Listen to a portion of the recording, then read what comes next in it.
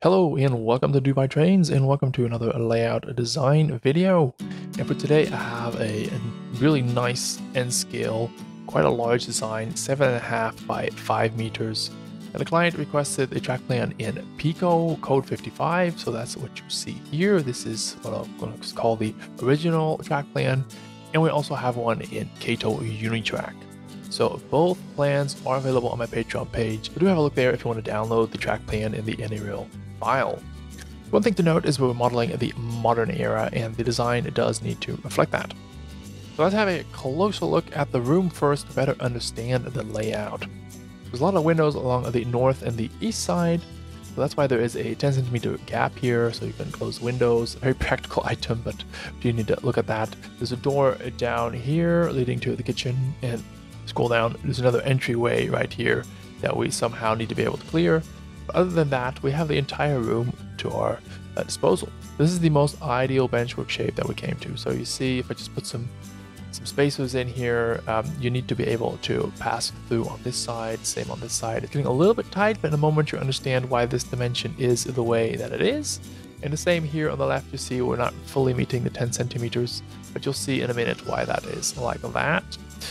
There's still a gap down below to, to pass through. And here on the left, we have, uh, yeah, it's, it's, getting a bit narrow, but there's still uh, enough space for someone to stand.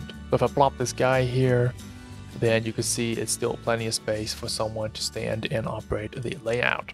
Now the client requested the benchwork to be built with the ABR benchwork system. So that's what you see here. Here are all the different parts and components that are available to this benchwork system and how they build up to make the layout as it is. And because of the dimensions of the system, you see um, that's why this dimension here is a little bit narrower than the ideal, but don't worry, it's just a passageway, so it doesn't really matter that much. So now we have a better understanding of the room. Let's have a look at the track plan and what's happening. So this is a general lay of the land. On the right, it's flat and a lower leveled. And then at some point, the track will wind up here and go up. Darker colors are higher elevated. And then go up and back here. There's some more industries back here. And then on this uh, blob, this peninsula, it will wind back down again. And this lower section right here has a lot of industries. So let's start here on the right on the yard.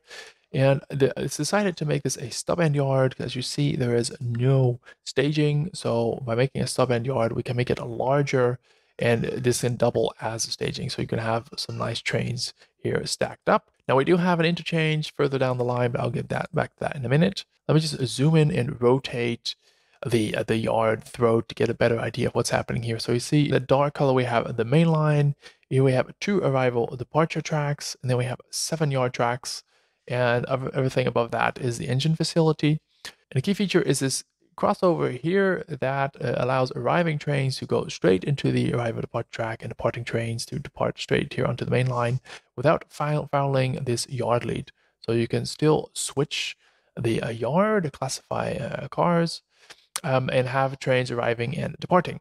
So like I said, everything north here is the engine facility. So on the left, we have four tracks going into the engine uh, maintenance facility.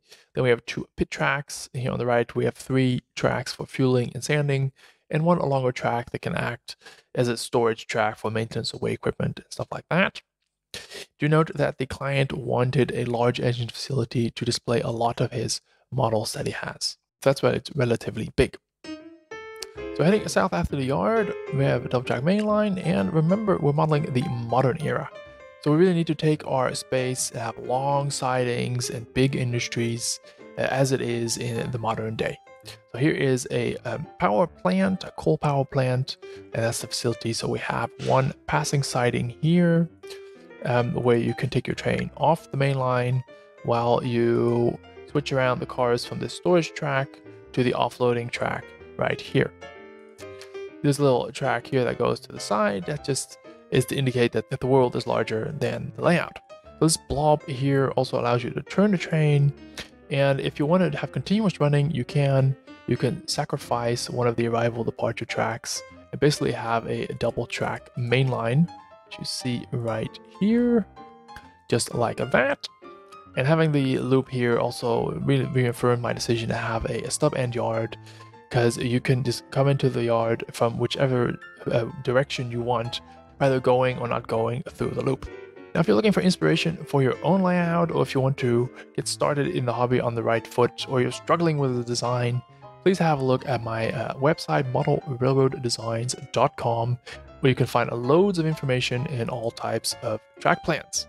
So, moving to the north, here we have just a classical switching arrangement. Uh, the only thing that's not classical is that the train track actually splits here. So we have this line here that continues straight. There's a crossing. This would be the main line of direction. And we had head up the loop. And here we come back from the lower section. I'll talk about that later where we cross the track as well to go in there. Other than that, here we have some industries. We have two tracks, one, two, and a, a lumber loading facility here. The lumber yard is just off uh, layout. Let me zoom in a little bit more. And then here we have a grain facility. Client also wanted the industries to tie in to each other in the layout. That's not super prototypical, but I understand why it would want that. Makes it for interesting operations. So the grain loading facility here ties in with the uh, the bakery and the brewery uh, on the other side of the layout. And this lumber facility ties into a uh, furniture company on the other side of the layout. Let's continue as we head up this loop, the 1.7% grade. This track here, I will get back to that. So as we head up here, we have a, a, long run. We do dive into a tunnel just to lose the train out of sight and also to make this lower area uh, more visually appealing and not having, you know, all these trains going left and right. Just want to have it out of the way for this section. Here, uh, the continuation, the train can be seen in the background, which is nice as well, but sometimes you just want to have it out of sight. That makes any sense. Here we have, again, we have a siding, long siding, and then here we go into a, uh, a, a coal mine, where again, this ties into the coal power plant that we just saw. This is also a great passing siding if you're running trains in two directions, because basically this is a single line uh, part of the loop. And if you want to run trains in both directions, then you need a passing siding. So after that, we wind down here. We're going back downhill and we go around this uh, mine here. It's gravel facility where they mine for aggregate. And this is very prototypical uh, for modern day. You can look up various mines and this is how they can look. And this also fits great here on this blob. You really want to make use of these blobs. And if I just zoom out before we get to the switching area, that's a little bit how you have to, at a high over level, uh, design your layout. You want to have something like a yard and they want to have an empty section of track where you can just enjoy the train and let it run. Then you can have an industry, and then you want to have an empty section of track again. So in this case, that could be actually passing the yard.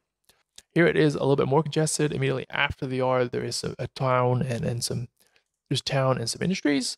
Uh, you could actually opt if you don't want to switch that much to just leave this out. Just have double track right here and a few crossovers, and that's it. But if you want to have a little bit more switching, then this is great feature. And then again, we go to empty section. So that's what you see right here. Empty, empty, empty, all the way back.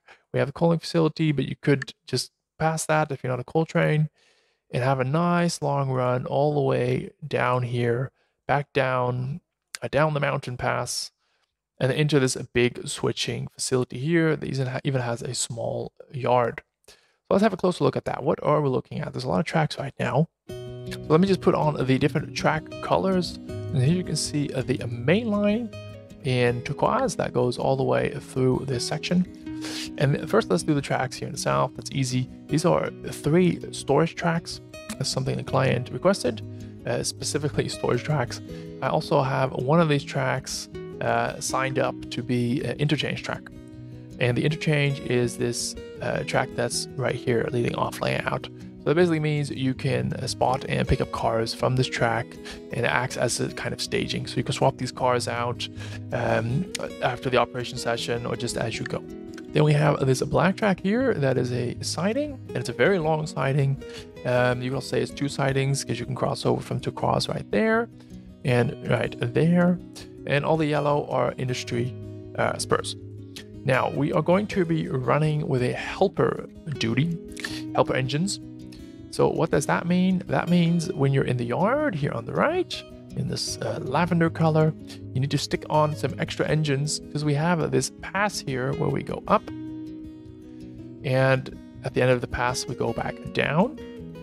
And these helper engines, uh, once the train arrives, go to this dark track right here. So that's what you're seeing right here, special track engines can park. They can be fueled here uh, from this, uh, yeah, piece of dirt road where the engines would just drive up to the track and fuel. Very prototypical for modern day operations. So talking about helper engines, what are you going to do with them on the way back? Now, if you'll just continue the main line, you can use this track right here and just head back to the yard just like that. There's no grade, so you don't really need a helper engine. You could also turn the train around, and then obviously you're going over the uh, the pass again, quote unquote pass, and then you're going to need the helper engine to go up here and back down here the loop, just to make sure that you get the train under control and can brake it.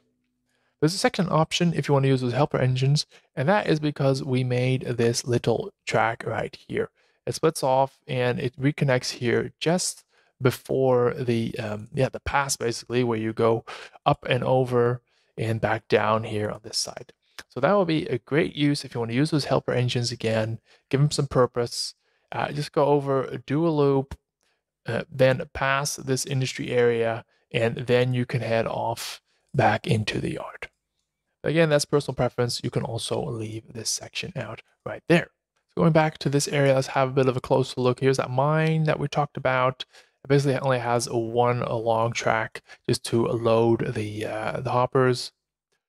Let me just turn on these tags. Um, here's the bakery. Yeah, and this was the brewery. That's how it was. And here is the furniture company. Um, and do note if you download the track plan on the Patreon, you also have these uh, layers. You can turn these tags on and off as you wish. It's scrapyard here in the north, some steel half fabricates as well. And the goal is a bit to create industries that are interesting and also create uh, interesting traffic. So we have a load of gondolas here for this section. And of course, a lot of coal cars here from the mine. And another thing you want to do when, when, when making and designing the scenery is try to make it as realistic as you can. So here, this, as though this is rural, there will be some kind of dirt road because there's a turnout here and a bridge and then a tunnel. So this requires maintenance, so there has to be some kind of access road. And the same right here. I'm not saying to make roads all parallel to all the track that you have, no, but in some areas it can really become a nice design feature. So we already went through this partially. Um, this is just a, a, team track kind of situation where you can offload uh, aggregates again that we just loaded. And here we have a LNG fueling facility small simpleton town right here, just anywhere in the US. always nice to model that. And depending on the stores and the places, you can really locate it to your, uh, your, your area. On my Patreon page will also be more information where the grades start and where the onset starts. And don't forget there you'll also find all the track plan and the list of components for the uh, Kato Unitrack design. Thank you guys all for watching. That's it for today. Bye bye.